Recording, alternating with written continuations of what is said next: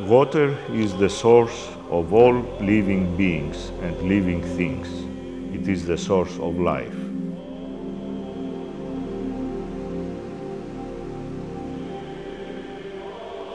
Indeed, the world's oceans abound with the gift of life.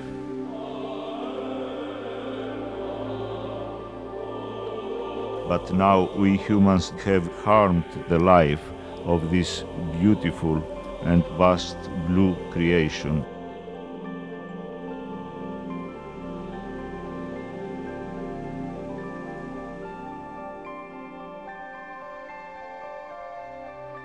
As we enter the third millennium, we are concerned about the state of our environment. We see a world in which development without restraint is imposing great harm on God's creation.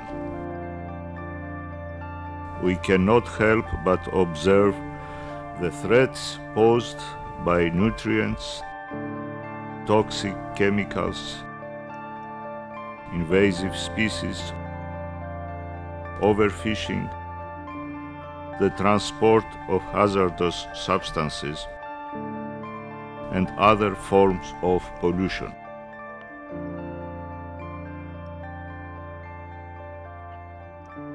His All Holiness Ecumenical Patriarch Bartholomew is the spiritual leader of more than 250 million Orthodox Christians worldwide. Dubbed the Green Patriarch, he has been the lead spirit in creating an extraordinary movement religion, science, and the environment. The core idea was to bring together religious leaders and scientists, the best minds from these two often estranged communities, to discuss means to avert the headlong destruction of the planet we all share. Deciding to focus on our marine environment for both theological and ecological reasons, the idea of study voyages or symposia traveling around a specific body of water was developed. The unique organizational idea was to put some 300 religious leaders, scientists, environmentalists, journalists, and policymakers on board a ship. In each port, those locals involved in environmental issues would join the symposium. The first voyage traveled through the Aegean Sea, ending on the island of Patmos on the occasion of the 1900th anniversary of St. John the Theologian's Book of Revelation, that vision of the apocalypse relevant to today's threatening ecological catastrophe. The second symposium circled the Black Sea, rich in a bountiful history, but today a dying sea.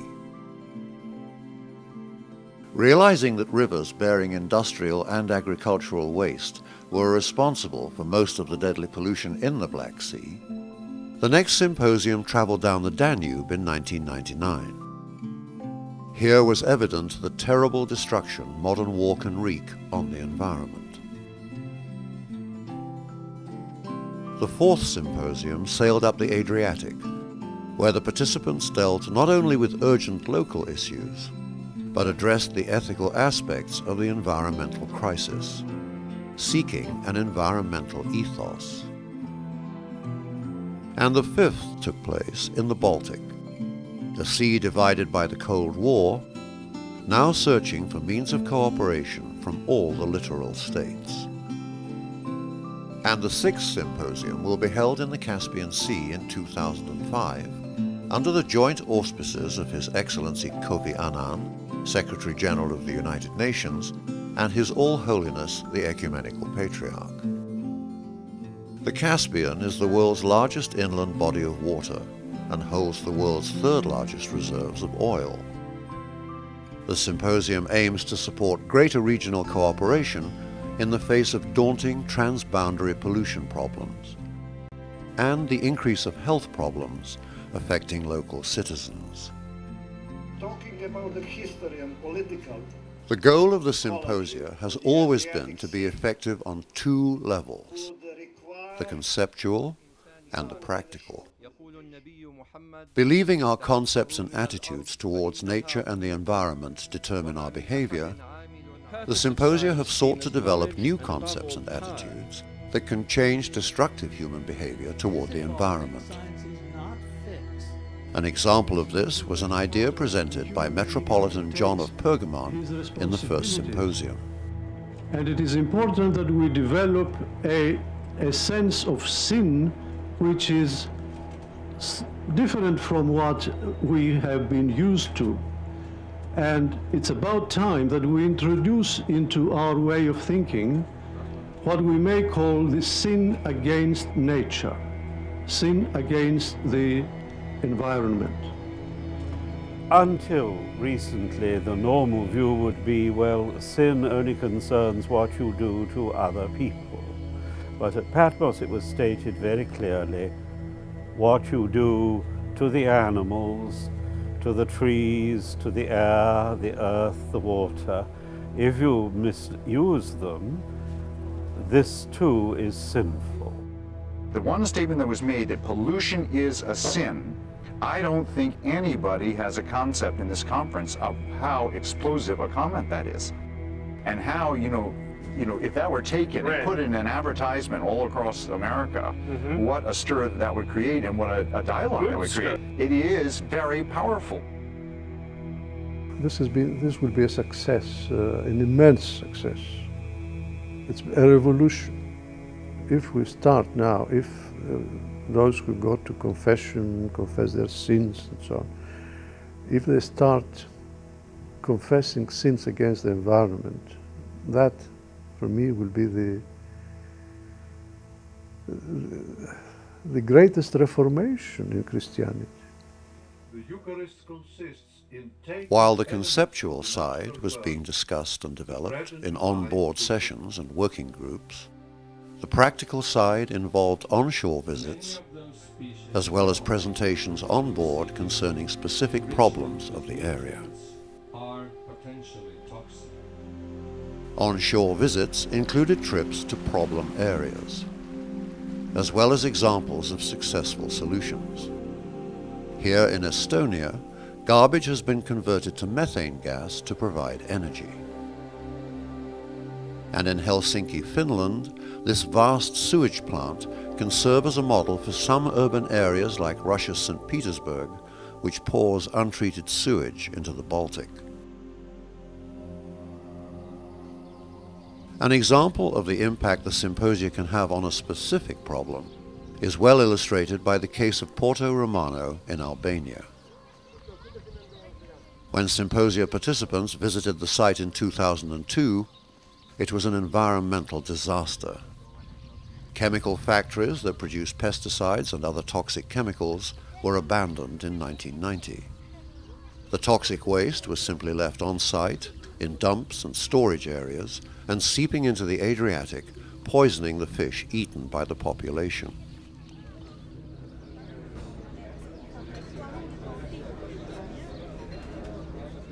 The president of Albania, like other leaders, came on board and addressed the plenary session. Afterwards, he faced the participating journalists. I realise that it's a very expensive problem to solve. Yes.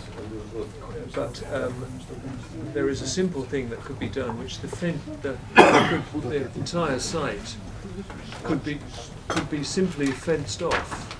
No, I don't. I don't believe on the fence because uh, if you have a, a local infection, it doesn't mean that this will be localized all the time. No one's suggesting that's, that's the total answer, Mr. President, but suggesting a way of stopping more people being I answer the question.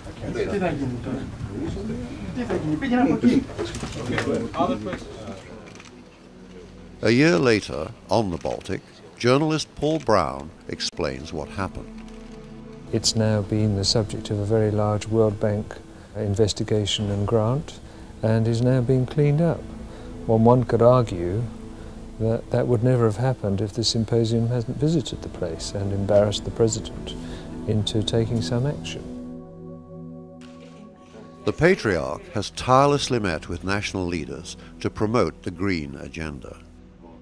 For it is the politicians and the policymakers who can effect legislation support international treaties, and bring state power to bear on these problems through enforcement.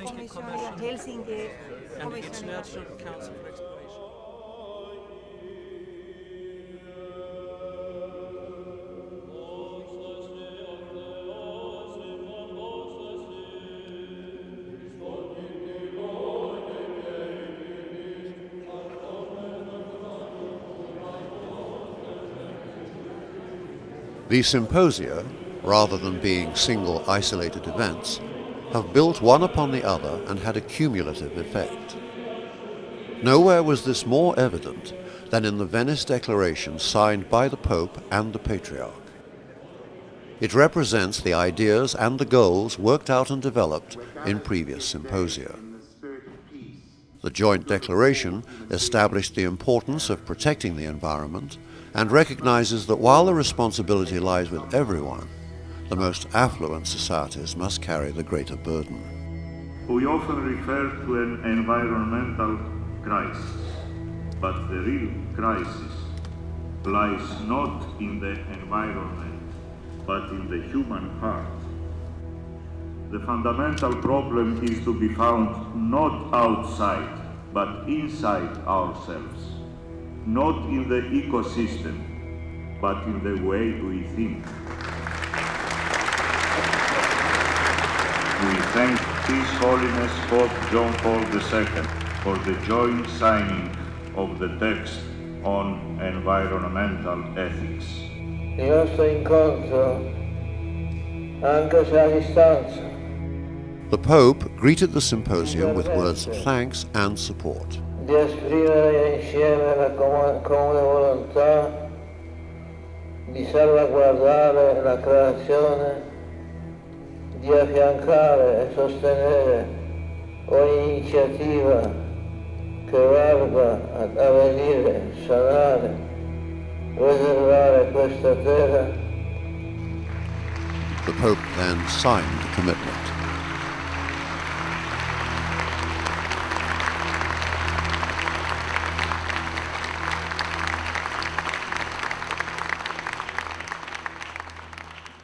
We're not dealing with any inevitable conflict between science and religion. We're dealing with a way of being in the world which is out of sympathy and communion with the creation. And this lack of sympathy is manifested in symptoms of ecological distress.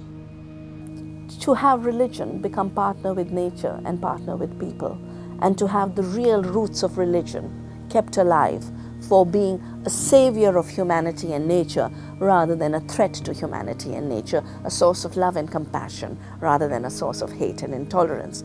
Uh, for me, it's, it's like oxygen. The benefit is about linking the power of science and the power of religious organizations on the side of, on the right side of a struggle. I think this whole series of symposiums on religion, science, and the environment have been absolutely historic without question, have been some of the most dynamic and original confluences of people, institutions, and issues that have ever taken place on the environment.